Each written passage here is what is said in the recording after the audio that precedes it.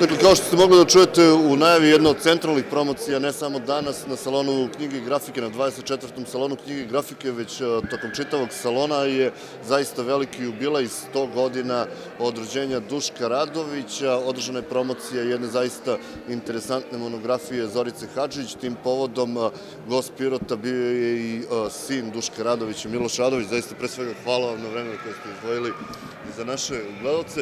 Ja za početak moram da vas pitam nešto lično. Postoji za sve ono kao prva knjiga koji su, na osnovu koje su zavoleli da čitaju. Ja imam knjigu Igre i igračke i na koricama piše Malom Vladi. To sam ja, Mali Vlada od Čika Duška. To je promocija koja je održana 84. u, u Pirotu. Jel vi imate neku knjigu tako? Imam, nije Duškova. Moja prva knjiga i omiljena knjiga je Ježeva kućica Branka Ćopića, sa posvetnom Branka Ćopića, malo miš i ne, sad se više ne sjećam šta. E, ta knjiga je bila, impresionirala me, ne znam koliko, kad je to bilo, bio sam mali. Eto, to je moja omiljena knjiga iz detinstva. Bez konkurencije. A, mnoge generacije su poput mene zapravo, zahvaljujući Duško Radoviću, učile šta zapravo znači književnost i koliko je lepo igrati se sa slovima. Kakve je vaše iskustvo? Vi ste odrastali pored njega. Znate kako, to nekad izgleda tako da deca pisaca rastu sa piscima i uče nešto od njih, ali e, morate da uzmete u obzir i to da je Duško vrlo redko bio kod kuće jer je radio mnogo stvari. Onda Duško je jako voleo kancelarije, tako da on je redko kod kuće bilo šta radio. E, I onda u tim trenucima kad smo se viđali, e, jeste, po, postoje jedan uticaj e, vrlo, kako bih rekao, značajan na mene, pogotovo u nekom školskom dobu, mom bilo je nekih saveta kako čitati, šta čitati i mislim da je to bilo velikog uticaja na mene. Čak i kasnije kad sam ja sam počeo da se bavim umetnošću, neki od njegovih saveta su ostali uh, živi i u tom poznom dobu. Tako da... To ste onda vas pitam, kao scenariste ste koristili te neke njegove savete? Jesam, ja sam Mislim, u početku je e, Duško bio jako protiv toga da se ja bavim filmom i da e, on je jednom rekao, sad mala digresija, e, bilo je nekad pitanje koje se postavilo u javnosti humorno, e, da li domaći film kvari decu. A Duško je odgovorio e, da samo onu koja ga prave.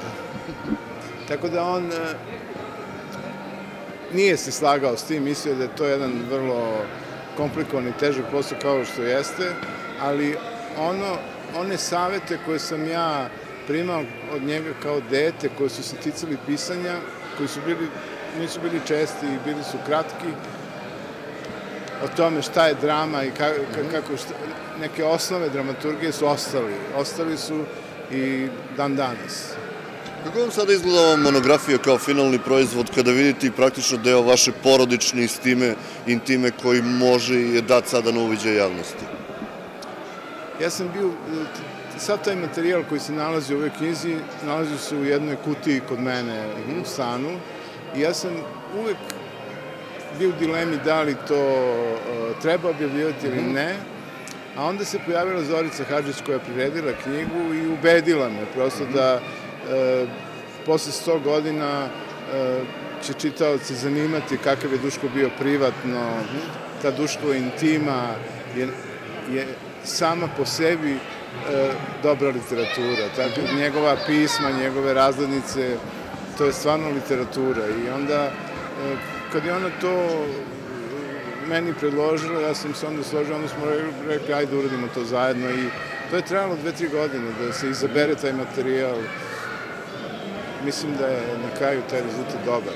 A, treba li praviti razliku u njegovom delu evo ja sam pomenuo to igre i igračke, to su dakle neke od domiljenih e, dečijih pesama uz koje su generacije i generacije odrastali, sa druge strane mnogi ga pamte i po veoma ozbiljnim aforizmima koje su nekim umeli i da bole na konto tih nekoliko rečenica samo koje su izgovorene preko Beograda dobro jutro. Treba li praviti razliku između ta dva njegova dela, te dečije književnosti i ove malo ozbiljnije? Ja mislim da ne. On se ba... On je radio svašta. I radio je, mislim da je literatura za decu po meni možda najbolje mm -hmm. je, ono što, čime se on bavio, ali on je radio svašta, radio je za decu, za odrasle, te emisije Beograda u radio je puno reklama. On je nekad za sebe govorio da, je, da piše po kućama, kad mu ko, kako mu ko naruči, ako ga neko pozove, tako da je on teško odbijao pozive i onda radio, je, ja se sećam neke reklame za JAT, pa ne znam, za PKB, pa i uvek je u svakoj, u svakom tom malom delu je postalo jedno zrno tog duha njegovog i ja mislim da sad kad bi neko ko ne zna uopšte ko je on, kad bi uzeo sve te stvari i poređao ih jedno uz drugo, video da je to jedan isti čovek radio. Jer on, prosto ne, postoji nešto jako prepoznatljivo, taj neki malo iščešljeni humor koji, koji oko, iz, iz njegovih tekstova provejava. E sad, i sami se bavite umetnošću. Koliko je teško to što je on radio, zapravo baviti se svakoga dana? Dakle, imati taj neki svakodnevni ritam da ti moraš da pišeš i da ne znam, milion, milion Beograđana očekuje da čuješ šta ćete vi reći tog narednog jutra. Dakle, to nije ono kad se dobije inspiracija, nego svakog dana mora da se ima inspiracija. Da, to je e, Matija Bečković, koji je njegov najbolji drug, je svedočio i na promociji ove knjige, da je se Duško dosta mučio. Jer je to stvarno, to što vi kažete, bilo nemoguć zadatak. On ustane u 4 ujutru, dođe u studiju B u 5 i od 5 do 7 on to mora da stvori. Tu nema, ne može da se izvinite da, da. Ovaj, slušalcima. Tako da je to bio jako, jako ovaj, težak i naporan posao i kad je on, pre nego što je to počeo da radi, ispričao Mati da ima tu ideju da ode na studiju B i da u pet minuta govori nešto Beograđanu, Mati je rekao, to je nemoguće, jesi lud, kako ćeš to da, da, da. Do, koliko će to da traje, izdržat ćeš mesec dana i kraj. To je trajalo dugo i ovaj, mislim da se ta muka isplatila, da oni tako, sećam se novinari Studio B, ti koji su radili jutarnji program, su pričali kako on Beograđan, kada je bio Studio B, o, o, kruž na gori ima jedan hodnik. I on je tako išao tim hodnikom sat vremena, gledao kroz prozor, ima dvogled i onda gleda Beograd ujutru i odatle povlače neku inspiraciju, ali da je bilo ovako, nije bilo ovako. A, još samo za kraj da vas pitan, Bojan Ljubenović je sinoć ispričao, s obzirom da je i on aforističar, da se bavi aforizmom, da je ona stvar koju najviše poštoje kod Duška Radovića, činjenica da kada je otišao sa studija B i posle toga dobio ponudu da se vrati, da je odbio kad ste me već jednom oterali, sad više nema povratka. Da, da, on je rekao, ja sam mali čovek se radi, ali se ne palim i ne gasim na dugme. Da. Znate šta, tu sad postoje razne verzije tog kraja na studiju B, ali mislim, ono što ja znam i što mislim da je pouzdano istinito, je da je on je postajao sve oštriji i oštriji u, u tim svojim jutarnim komentarima.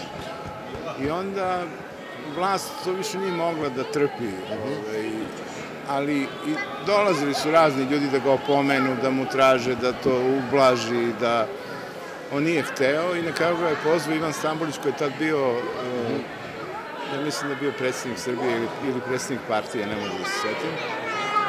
I onda mu je on rekao da on, da, da zamolio ga da shvati da oni nemaju prosto način da izdrže toliki pritisak koji dolazi od njega, zato što je popularnost prevelika, a da je ono što on govori preozbiljno.